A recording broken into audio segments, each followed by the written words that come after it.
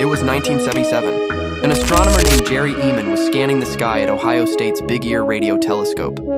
And suddenly, he saw it. A signal. Strong focused.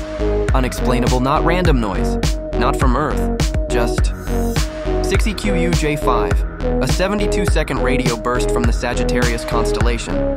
He circled it in red ink and wrote one word next to it Wow. No one's ever detected it again. NASA couldn't explain it. SETI couldn't replicate it. And the source? Still unknown. Some say it was just space noise. Others believe it was a message. A brief signal from something or someone. But here's the creepy part. In 2022, a new study suggested the signal might have come from a sun-like star, just like ours. What if that was their first attempt to reach us, and we just missed it? Imagine if your first hello went unanswered for 50 years. Follow for more chilling signals the universe might be sending.